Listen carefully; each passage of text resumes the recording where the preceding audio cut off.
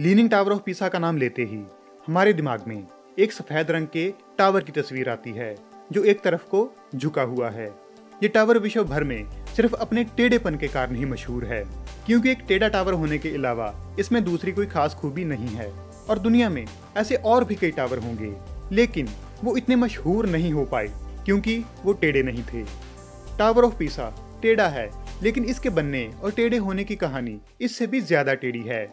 तो आज की वीडियो में हम उसी पर बात करेंगे। सो हेलो फ्रेंड्स फ़ोटो लवर्स में आपका स्वागत है। पीसा का ये झुकता मीनार इटली के पीसा शहर में पड़ता है और इसे 1173 में बनाना शुरू किया गया था। पीसा शहर उस समय एक स्वतंत्र राज्य हुआ करता था और इस राज्य की शक्ति और अमीरी को दिखाने के लिए इस मीनार की नींव रखी गई थी और यहीं से गलतियों की शुरुआत हो गई। क्योंकि इस जगह की ज़मीन बहुत नरम और जल्दी धसने वाली है। इसीलिए इस टावर को एक लंबी, चौड़ी और मज़बूत नींव की ज़रूरत थी। लेकिन इन बातों को नजरअंदाज करते हुए सिर्फ़ तीन मीटर की नींव पर ही इस टावर को बनाना शुरू कर दिया गया। इसी कारण जब टावर की सिर्फ़ तीन मंजिलें ही बनी थी तो टावर एक तरफ़ को झुकना शुरू हो गया। उसी समय पीसा के अपने पड़ोसी राज्यों से जंग शुरू हो गई, जिस कारण इस टावर को बनाने का काम रोक दिया गया।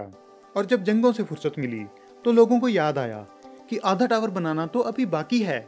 इसीलिए बारह में टावर के लिए पत्थर इकट्ठा करके उन्हें तराशने का काम शुरू कर दिया गया और बारह में, यानी कि काम रुकने के लगभग एक सदी बाद, इसे दोबारा बनाने का काम शुरू हुआ। लेकिन तब बड़ी दिक्कत ये थी कि जो टावर पहले से ही झुका हुआ है, उस पर उसारी कैसे होगी? इसीलिए कारीगरों ने एक तरकीब निकाली कि अगर पहले से बनी मंजिलें इस तरफ़ को झुकी हुई हैं तो हम बाकी की मंजिलें सीधी बना देते हैं, जिसके चलते टावर सीधा हो जाएगा। लेकिन ये तरकीब भी काम नहीं आई, क्योंकि बनते बनते ही टावर और ज़्यादा झुकने लगा। दूसरी तरफ़, पीसा की एक जंग में हार हुई और बारह में टावर का काम एक बार फिर से रुक गया।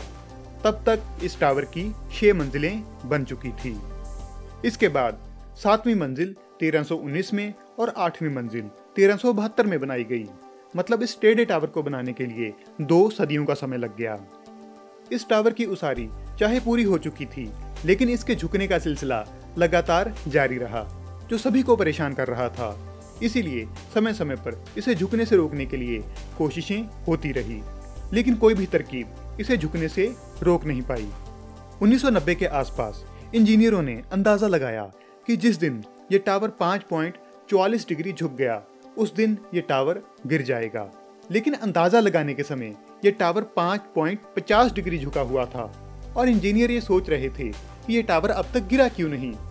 दूसरी तरफ़, उन्नीस में इटली का एक ऐसा ही और टेढ़ा टावर अचानक गिर चुका था, जिस कारण टावर ऑफ़ पीसा को लोगों के लिए बंद करके इसे सीधा करने की कोशिशें शुरू कर दी गई।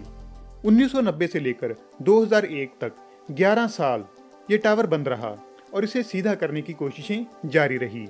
इसी बीच इसकी ऊँची तरफ़ से धीरे धीरे करके मिट्टी निकाली गई, जिसके चलते टावर का झुकाव 5.5 डिग्री से घटाकर तीन डिग्री हो गया। इंजीनियर्स अगर चाहते तो इसे और सीधा या फिर पूरी तरह सीधा कर सकते थे, लेकिन वहाँ की सरकार ऐसा नहीं चाहती थी, क्योंकि अगर लीनिंग टावर ऑफ़ पीसा सीधा हो गया तो इसे देखने कौन आएगा? और टूरिज़्म से आने वाला पैसा रुक जाएगा। इसीलिए इसको इतना सीधा करके ही छोड़ दिया गया। और इंजीनियर्स के अनुसार, ये टावर अब 200-300 साल तक सुरक्षित खड़ा रहेगा। तो ये है लीनिंग टावर ऑफ़ पीसा की टेढ़ी और अजीब कहानी। ये जानकारी आपको कैसी लगी? कमेंट्स में ज़रूर लिखें। आज के लिए बस इतना ही। अगर ये वीडियो आपको पसंद आई तो इसे लाइक और शेयर करें और ऐसी और वीडियोस को देखने के लिए फ़ोटो लवर्स को सब्सक्राइब करना मत भूलें।